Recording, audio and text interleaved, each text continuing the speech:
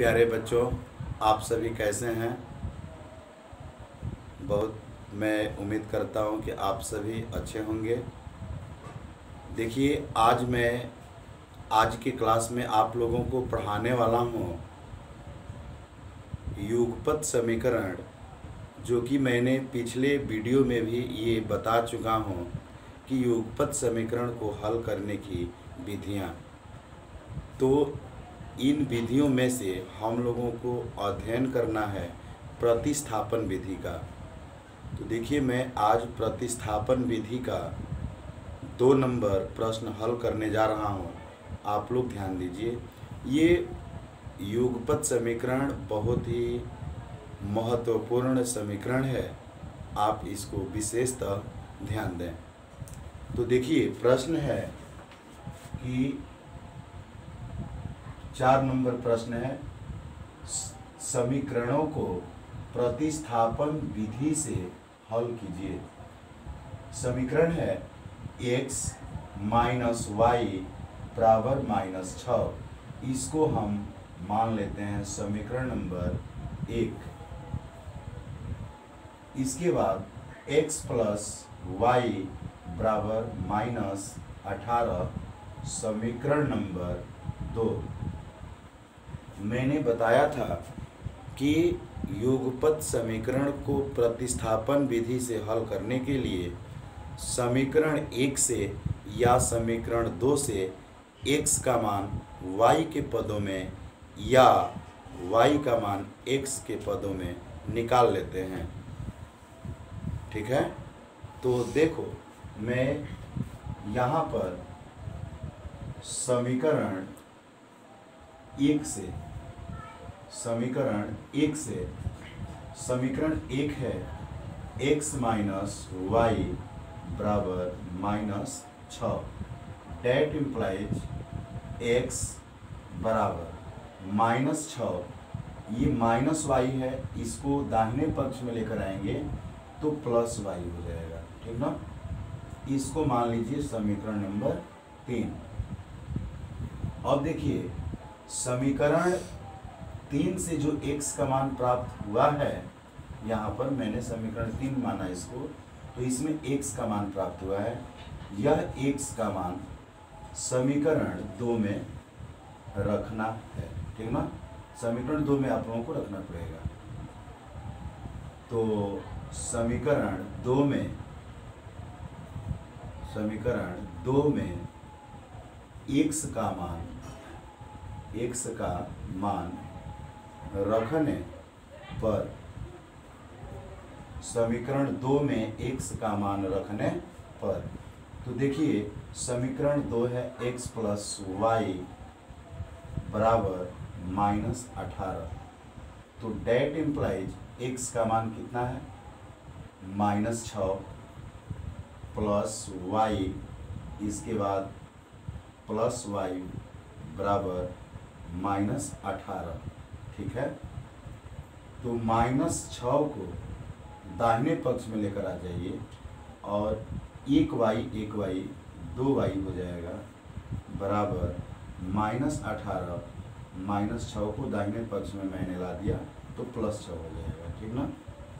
तो दो वाई बराबर यहाँ माइनस है और ये प्लस है। चिन्ह विपरीत है तो यह घट जाएगा। तो 18 में से छ घटाएँगे 12 माइनस बारह। यहाँ पर दो और y गुणा के रूप में है तो y बराबर माइनस बारह, ये भाग के रूप में हो जाएगा दो बटा दो। माइनस बारह बटा दो। डेट इम्प्लाइज y बराबर बारह में दो का भाग करेंगे, माइनस छः बन जाएगा। y का मान निकल चुका है माइनस छ अब आप क्या करेंगे? कि y का मान किसी भी समीकरण में रख करके x का मान प्राप्त कर लेंगे। ठीक ना? तो देखो, किसी भी समीकरण में एक में रखो, या दो में रखो, या तीन में रखो। तो मैं रखता हूँ। समीकरण तीन में, समीकरण तीन में y का मान, y का मान रखने पर समीकरण तीन में वाई का मान रखने पर। तो देखिए, समीकरण तीन में जब वाई का मान रखेंगे तो समीकरण तीन कितना है? एक्स बराबर माइनस छ प्लस वाई तो डेट इम्प्लाइज एक्स बराबर डेट इम्प्लाइज एक्स बराबर माइनस छ प्लस वाई। वाई का मान कितना है? वाई का मान है माइनस छ तो यहाँ रख लीजिए माइनस छ डेट इम्प्लाइज एक्स बराबर माइनस छ प्लस माइनस माइनस छ तो डेट इम्प्लाइज एक्स बराबर माइनस और माइनस प्लस हो जाएगा छ छ बारह। माइनस माइनस यहाँ पर जुड़ता है, जुड़ जाता है और चिन्ह माइनस का ही रहेगा तो हम लोगों का आंसर प्राप्त हुआ। अतः x बराबर x बराबर कितना? माइनस बारह और y बराबर माइनस छ ये समीकरण का हल हुआ। यदि आप चाहेंगे तो किसी समीकरण में x और y का मान रख करके उत्तर की जाँच कर सकते हैं। तो चलिए उत्तर की भी जाँच हम बता दें आपको। उत्तर की जाँच। समीकरण एक में रख रहे हैं, ठीक ना? तो left hand side equal left hand side समीकरण एक का लेफ़्ट हैंड साइड कितना है? x माइनस वाई है, x माइनस वाई है, ठीक है? अब देखिए, यहाँ पर माइनस बारह हो जाएगा, ठीक ना? माइनस बारह, इसके बाद माइनस वाई का मान है माइनस छ माइनस छ अब देखिए, माइनस बारह बराबर माइनस बारह, माइनस और माइनस प्लस छ तो माइनस और प्लस माइनस होगा, घटेगा यहाँ पर, बारह में से छः घटाएँगे तो माइनस छः में आएगा, ठीक ना? माइनस छः तो समीकरण एक का राइट हैंड साइड कितना है? माइनस छ तो हम देख रहे हैं कि समीकरण एक का लेफ़्ट हैंड साइड और राइट हैंड साइड इक्वल है। तो इससे हमें यह पता लग रहा है कि हमारा जो समीकरण का हल है, वो सत्य पाया गया। तो left hand side equal right hand side, ठीक है? मैंने आंसर भी जाँच कर दिया। तो जिस विद्यार्थी को इस प्रश्न का हल प्राप्त करना हो, वे स्क्रीनशॉट के माध्यम से प्राप्त कर लें। बहुत ही बढ़िया प्रश्न है। चलिए, मैं अब इसके आगे तीसरा प्रश्न बता रहा हूँ। ठीक ना?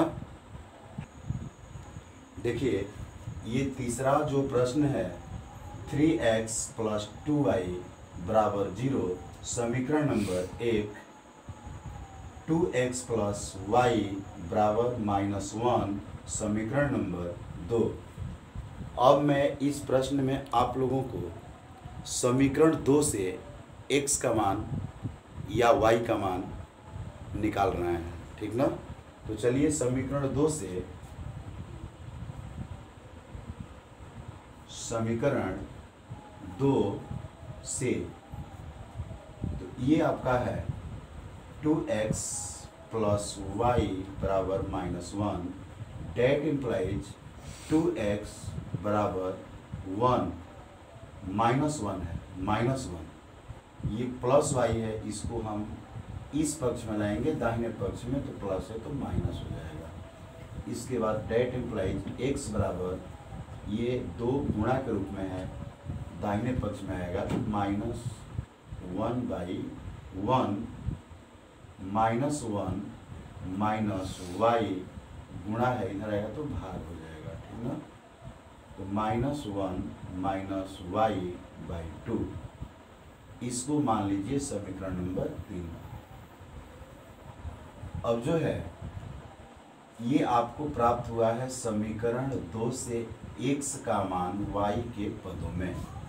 तो इसको जो है, समीकरण दो से जब आप निकालें तो समीकरण एक में रखेंगे। तो समीकरण एक में, समीकरण एक में एक्स का मान एक्स का मान रखने पर समीकरण एक में एक्स का मान रखने पर तो समीकरण एक है three X plus two Y बराबर ज़ीरो तो डेट इम्प्लाइज क्या हो जाएगा?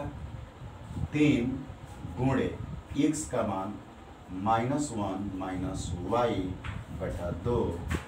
इसके बाद plus two Y plus two Y बराबर ज़ीरो डेट इम्प्लाइज तीन से गुणा कीजिए. प्लस और माइनस माइनस तीन से गुणा करेंगे, एक में तीन हो जाएगा।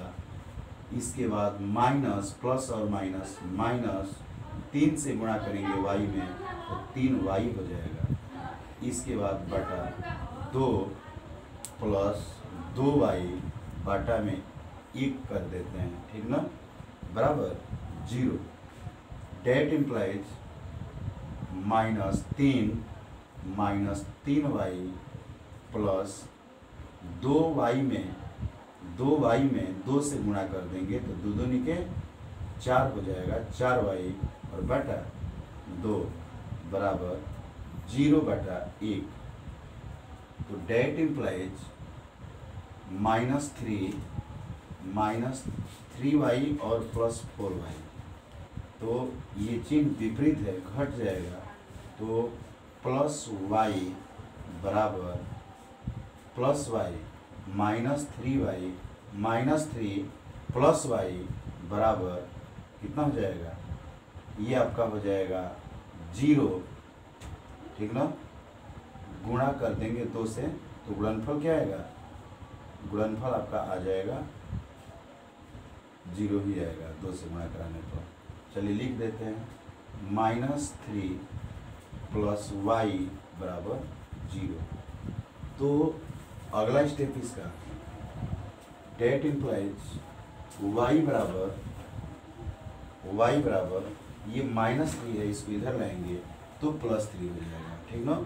ये आपका वाई का मान प्राप्त हो गया है। अब हमें किसी भी समीकरण में रख करके एक्स का मान प्राप्त कर लेना है। तो चलिए, समीकरण किसमें रखें? तीन में? चलिए समीकरण तीन में ही रख देते हैं। समीकरण तीन में, समीकरण तीन में किसका मान? y का। y का मान रखने पर, समीकरण तीन में y का मान रखने पर तो x बराबर minus one minus y by two तो माइनस वन माइनस वाई का मान कितना है? थ्री है ना? तो थ्री बाई टू तो इसको माइनस और माइनस ये जुड़ जाएगा चिन्ह माइनस का ही रहेगा। तीन और एक, चार, बटा दो। चार में दो का भाग लगाएँगे माइनस दो रहेगा। तो अतः अतः एक्स बराबर माइनस दो और वाई बराबर प्लस तीन, ये आपका प्राप्त आंसर ठीक है? यदि आप उत्तर की जाँच करना चाहें तो जाँच कर सकते हैं। चलिए उत्तर की जाँच इसका भी बता देते हैं। उत्तर की जाँच, उत्तर की जाँच। तो left hand side equal left hand side equal कितना? किस समीकरण को लें? दो को? चलो दो को ले लेते हैं। तो समीकरण दो का लेफ़्ट हैंड साइड कितना है? टू एक्स प्लस वाई है। टू एक्स प्लस वाई है। समीकरण दो का लेफ़्ट हैंड साइड तो दो गुड़े एक्स का मान कितना है? माइनस दो है। प्लस वाई वाई का मान कितना है? तीन है। दो में दो से गुणा करो। दो दो निके चार माइनस चार, और प्लस तीन। चार में से तीन को घटा दो, क्या हो जाएगा? माइनस एक। तो यहाँ पे right hand side equal minus वो जो है माइनस एक तो left hand side equal right hand side यही आपका प्राप्त आंसर होगा, ठीक है? तो इस प्रश्न का भी हल आप लोग स्क्रीनशॉट के माध्यम से ले लीजिए। चलिए, प्यारे बच्चों, मैं युगपत समीकरण हल करना आप लोगों को सिखा रहा हूँ। और आप लोग इसको जो है अति शीघ्र अवश्य सीखें। क्योंकि ये बहुत ही महत्वपूर्ण प्रश्न है। आपको अगली कक्षा में भी ये सहायक होगा। धन्यवाद।